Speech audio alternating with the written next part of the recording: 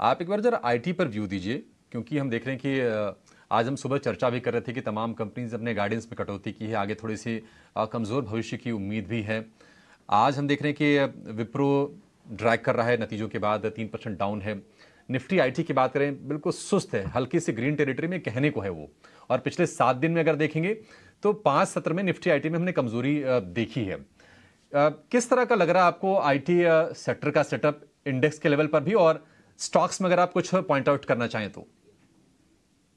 तो अपने को काफ़ी आगे का सोचना पड़ेगा क्योंकि पिछले साल आईटी ने काफ़ी सेलिंग देखी और काफ़ी ये जो नेगेटिव न्यूज़ फ्लोज हैं ग्रोथ को लेके तो काफ़ी हद तक डिस्काउंट हो चुके थे।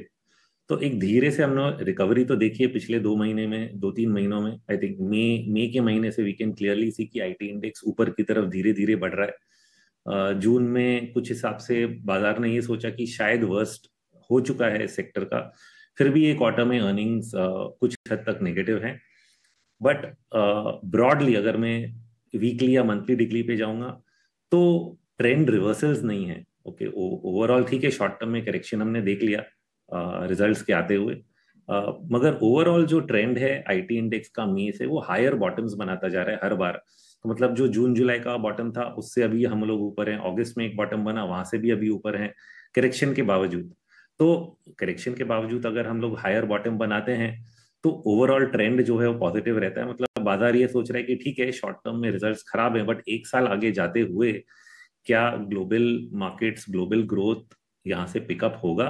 और अगर होगा तो फिर आईटी सेक्टर को बिज़नेस जो है वो ज़्यादा भी मिल सकता है। जाते हुए। तो शायद lot of the negatives are discounted now having said that क्योंकि यहाँ ग्रोथ स्लो है स्पेशली लार्ज कैप आईटी में तो इस सेक्टर को क्या आप महत्व दोगे पूरे पोर्टफोलियो के एलोकेशन में? काफ़ी आप फंड मैनेजर से अगर बात कर रहे हैं तो उन्होंने आपको ये बताया होगा कि आईटी सेक्टर पे एलोकेशन कहीं पे कई लोगों ने कम कर दिया है।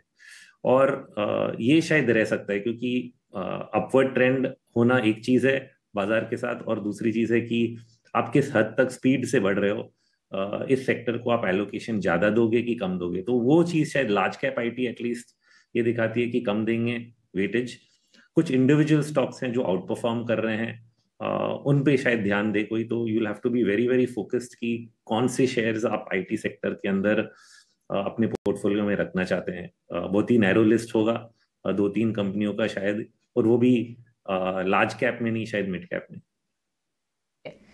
आईटी ऑफ़ कोर्स लैगिंग से इंप्रूविंग स्पेस में आया लेकिन सिलेक्टिव uh, होना होगा। मिड कैप आईटी को ही अभी थोड़ा सा प्रेफर करेंगे आप Rohit.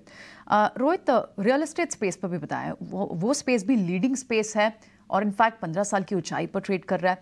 क्या इस स्पेस में स्ट्रेंथ बनी रहेगी?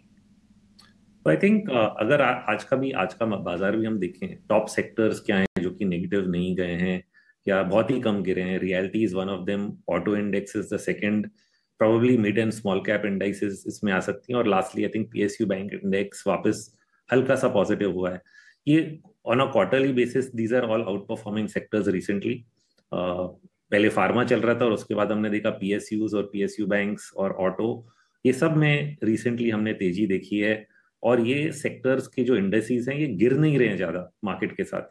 तो it is relative strength clearly और रिलेटिव स्ट्रेंथ जहाँ शॉर्ट टर्म में रहता है वो मीडियम टर्म में भी बना रहता है। तो मेरा सेंस है कि अगर यहाँ से जहाँ से भी बाज़ार संभल के ऊपर की तरफ़ चलेगा फोकस हमारा इन इन सेक्टर्स पे रहना चाहिए। दैट इज़ रियलिटी आपने मेंशन किया ऑटो और मिड एंड स्मॉल कैप्स में भी अभी तक ट्रेंड uh, खत्म नहीं हुआ है। And and and PSU banks I think all of them are showing some kind of strength today जो कि इंडिकेट uh, कर रहा है कि आगे भी इन पे फोकस रखना ज़रूरी है।